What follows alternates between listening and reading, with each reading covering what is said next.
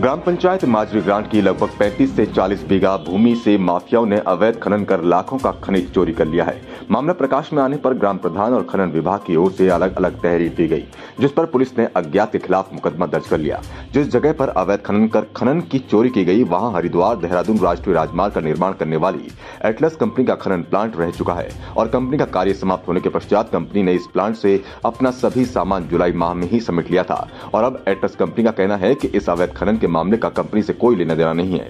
इस मामले को लेकर माजवी ग्रांट के उप प्रधान रामचंद्र ने कहा कि यदि इस मामले में दोषियों के विरुद्ध कार्रवाई नहीं की गई तो सभी जनप्रतिनिधि जिलाधिकारी कार्यालय पर प्रदर्शन करने को मजबूर होंगे। कंपनी जिसने हाईवे रोड बनाया है, उसको ज़मीन पंचायत ने लीज पे दी गई थी। उसकी लीज खत्म हो गई थी, उसने अपना पूरा मेटल सारा खाली कर लिया था।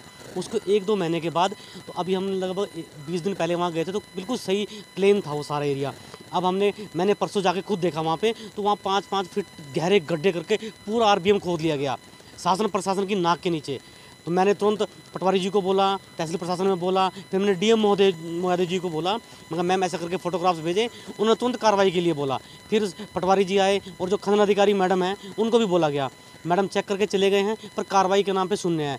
और इतना बड़ा पंचायत की ज़मीन में इतना बड़ा अवैध खनन करके ले जाना और प्रशासन और शासन की नाक के नीचे ना बहुत बड़ी अपने आप में एक, एक बहुत बड़ी बात है। अब उससे उससे अवैध खनन कितना बड़े स्तर पर कर रहा हो आप लोग अंदाज़ा लगा सकते हैं। मानते कि अधिकारी अगर अधिकारी की मिली भगत से नहीं है तो अब तो, तो पकड़ा जाता ना सर वो? क्यों नहीं क्यों नहीं किसका माल? इतने लाखों करोड़ों का राजस्व का जो नुकसान हुआ है सरकार को और पंचायत की ज़मीन में भी ग्राम पंचायत को भी हुआ है तो उसका नुकसान तो नुकसान है सर। लाखों करोड़ रुपये का नुकसान तो है ये। अवैध बिल्कुल जाँच उच्च स्तरीय जाँच होनी चाहिए। हमने डीएम महोदय जी को भी कहा है और हम एक दो दिन में जो ग्राम पंचायत सदस्य हैं हमारी पंचायत की ज़मीन थी हम लोग डीएम महोदय जी से मिलेंगे भी और उनसे कड़ी से कड़ी कार्रवाई के लिए भी बोलेंगे।